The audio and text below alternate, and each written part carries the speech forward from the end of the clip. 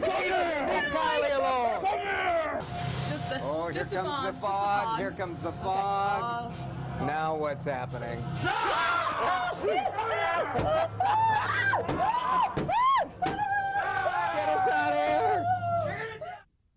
Might not sound like it, but Kylie and I did have a lot of fun when we went through Scream Town, the haunted complex in Chaska. Aptly named, right? Yes. Still have time to make your own thrills and chills for Halloween. So joining us now is the creator of Scream Town, Matt Dunn, with some tips on uh, trying to create your own little Scream Town vibe at home, right? Absolutely. Uh, we had a great time out there. It was a lot of fun, and you guys have been having really good uh, crowds out there too. It was an amazing weekend, and it looks like, from what Mike said, this weekend is going to be great as well. Absolutely. All right, let's start with some of these characters you have down at the end. Yeah, so we're, we're you know we're giving some tips today for costumes. If you're trying to come up with a, a last minute costume here, we tell all of our actors at Screamtown really think about your character. What are you? Who are you? Are you dead? Are you alive?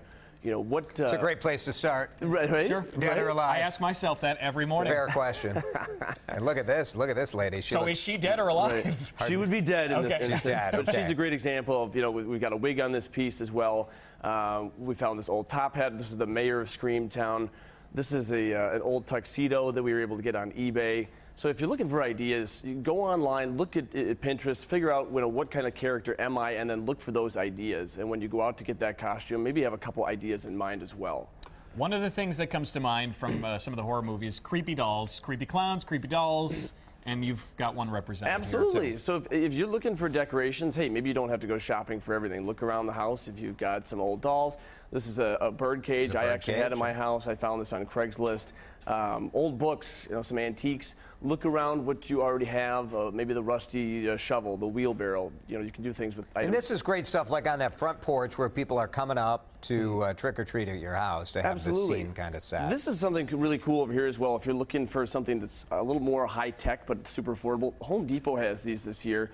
We've had this product at Screamtown for many years on kind of a higher end. It's a projection that you can do in your window, and it's got all kinds of things for the whole. Oh, season. cool. Some of those those ghostly kind of feathery images. Exactly. Yeah. You put that right in, right Super- inside, yeah. so it's in the window. And they're like Neat. 69 bucks. You can almost do every window if you want to, and you can do things, as I said, for the whole season, Christmas through Halloween. Okay, I love this. A lot of people maybe have like a blender or something that doesn't work anymore. We buy cases of expanding foam from uh, Home Depot during the season.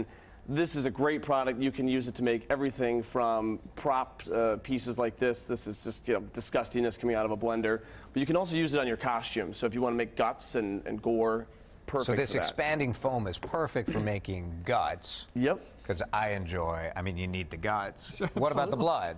Blood, you know, There's at- an art. There's an art to creating There is an perfect blood, right? To blood, and you can do it with possibly things you might already have. So look at paint you have. We use this. This is paint on here. Okay. Spray paint. Uh, if you, of course, if you get something with a, a, a higher gloss to it, that's going to look better. So we like.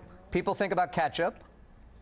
We've never used ketchup before. That, You know, a little pro tip: mix in some chocolate sauce, because blood has a little bit of brownish red color. are you available for working Just in a little pro Screamtown? tip. spend a lot of little time pro doing tip. this? That'd be great. I, I, you know, have a lot of outside Staging murder interests. scenes? Nobody needs to worry about it. really great. Matt Screamtown is fantastic, and we appreciate the tips this Thank you, folks. Happy Halloween.